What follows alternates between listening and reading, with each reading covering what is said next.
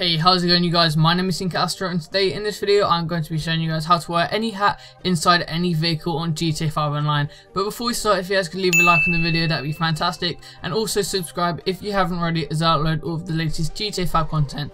But anyway guys, let's move on with today's video. So to start off with, you want to get into any vehicle. Now sorry guys, I do not have any convertible vehicles or even the BF Bifta, so the Audi R8 will actually have to do for today's video. But I will try my best to show you the camera angle to prove that this does actually work.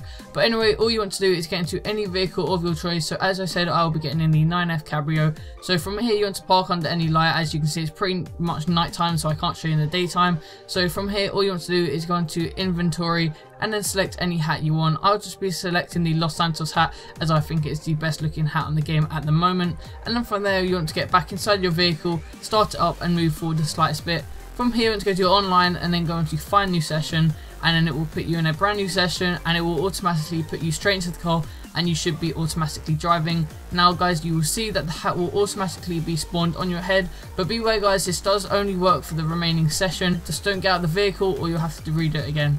But anyway, that is all for today's video, guys, so I do hope you enjoyed it. If you did, don't forget to leave a like on the video. It helps me out a lot and shows you guys support. Also, leave a comment and tell me what you thought. And if you haven't already, subscribe to my channel as I upload all of the latest GTA 5 content. But anyway, thank you for watching, and I'll see you guys next time.